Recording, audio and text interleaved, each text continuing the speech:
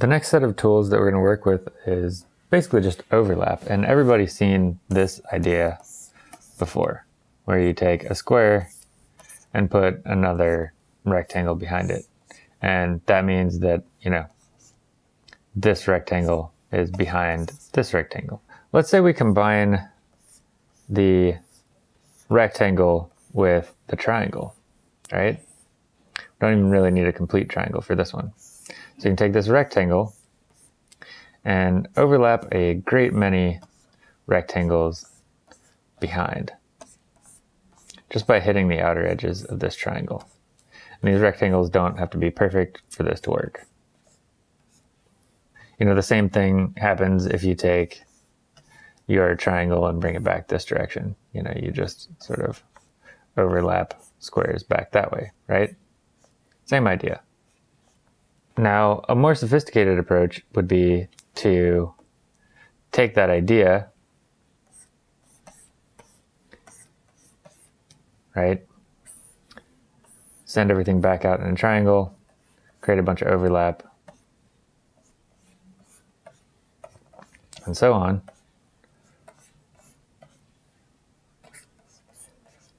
And then change the heights, right? Like take this guy and make him a lot taller. Take this guy and make him much shorter. Keep this guy the same, just for the heck of it. Then make this guy really a little bit taller. Keep that guy. Make this guy really much smaller. So what we've done here is kind of keep the ground plane the same and change the heights. And so you still get this idea that everything is going back in space, but you made it a little more sophisticated because everything's kind of broken up. You can also take that idea and shift things to the side, right? So you take your triangle going back in space and you can pull one guy out a little far right? Then you can pull the next guy really tall. You can uh, pull the next guy over to the side, right? You can then take the next one, shift him up, above, down, and around, and so on. And you can kind of play with this relationship, and it's all it's all still going to work because you're still overlapping. The next thing you can do is kind of think about grouping, uh, grouping things. Like you could create the stack, right? So if you're able to draw a plane in perspective, like so, you can then start to stack them by just kind of repeating that shape down.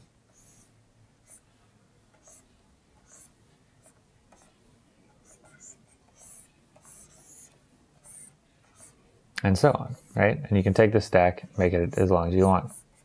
Simple idea, right? You can take that stack, you can evolve it, you can start the same way. Then you can start to change the angle. And then each time, change the angle.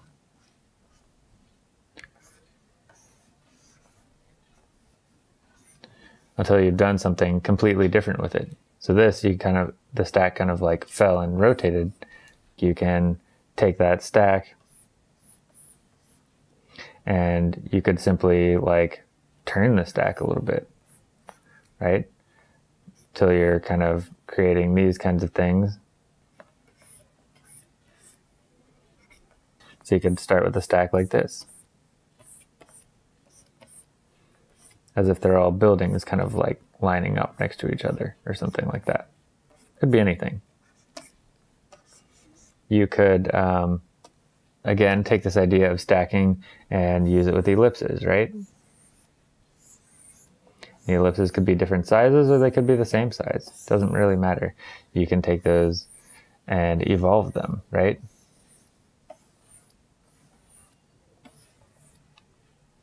So that's how you get your snowman, right?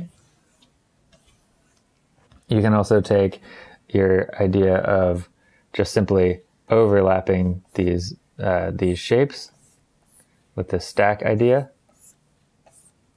and you could make it into something, right? You could say tilt that and begin to play with the idea of form and stacking. So you get these little forms that begin to stack up, right? Like armor or something like that. Or if you wanted to take that idea and make it, you know, bug like, you could make those kind of more organic. And then you can finish them off, turn them into like little pincers or something like that, and make them kind of insert into each other, right? As if they're kind of these little cones stacking. Or, you know, simple thing, it could be actual like mugs or something like that stacking.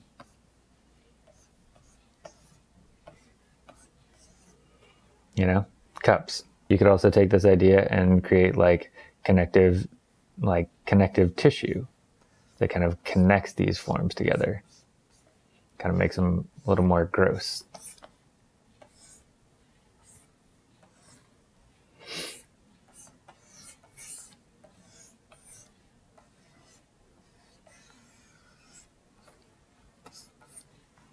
Take that same idea the, even the same kind of like basic shape and you can do something completely different with it, right?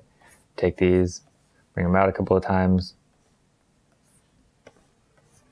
and then you can turn them into like forms basically. You can relatively quickly nest boxes together, right? As if they're all kind of inserted into or stacked on each other. Then you can do the whole, the card idea, Remember how we took this basic shape and then tilted it and we wound up with a card? So that could be the top of a house, but you could also take that idea and begin to evolve it, right?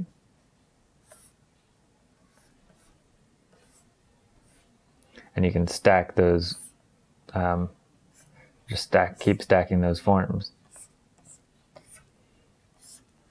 And you can do that towards you, like where each form is kind of coming towards you, but you could do that away, right?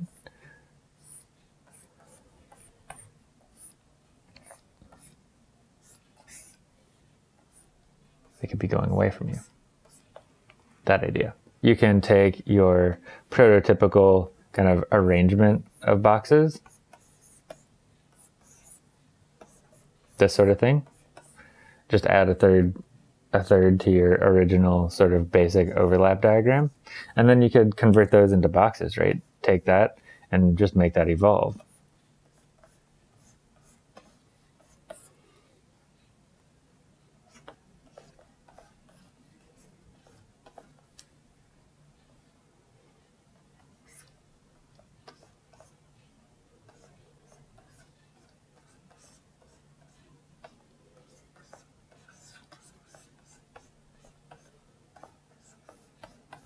You can kind of use the shapes to sort of group things that eventually are going to become dimensional or you can evolve them more directly. A little bit ago, we did our kind of form stacking idea, right? With um, with like a Coke bottle, and the basic idea was you stack cones and cylinders on top of each other. But you know, you can also think of it as a bunch of shapes, right? Kind of nesting through each other, and then you can convert that to form, right?